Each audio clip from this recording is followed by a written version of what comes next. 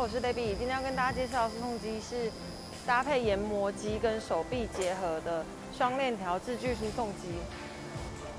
我们画面上看到这两台输送机的外观结构看起来一样，但其实它的动作是相反的。这边是入料输送机，这边是出料输送机。人工在这边投料，也是在这边收料。那唯一不同的是满料输送机。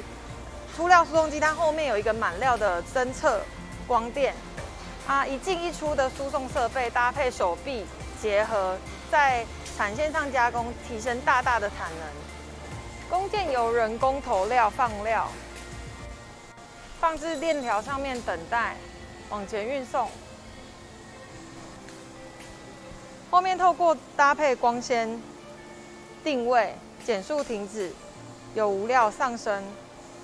上升到定位之后，手臂会来把弓箭夹走，进行下一个动作。这个输送机还有一个小巧思，是它可以针对弓箭长短不同去做宽幅的调整。